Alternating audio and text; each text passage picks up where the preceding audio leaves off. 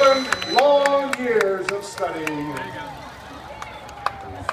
Rochelle Trapp.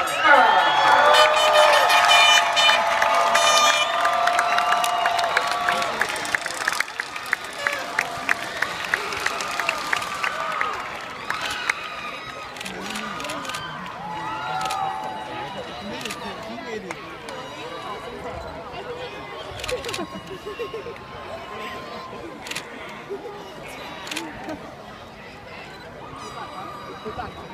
you.